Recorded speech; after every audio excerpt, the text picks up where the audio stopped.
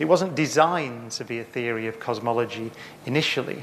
And also, the motivations for the theory are interesting. And I, I mentioned at the start that um, I wanted to refer or, or, read you something from A Brief History of Time, which had a very powerful effect on me. Um, this is a time back in the late 1980s when I was thinking about what I should do. Should I I was a musician at the time. Should I give up the music and go to uh, university and study physics? As I'd always, always wanted to study astronomy.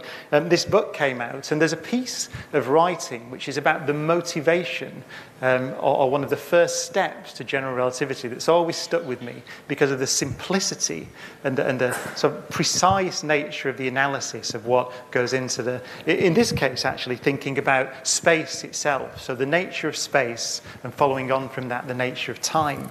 Um, the nature of space is a, an interesting one. When I give public lectures, um, I often say that space, it seems to be a non question. What is space? It is the arena in which things happen in the universe. Most people would picture it as, as a box um, inside which the, the, the, events in the universe play out.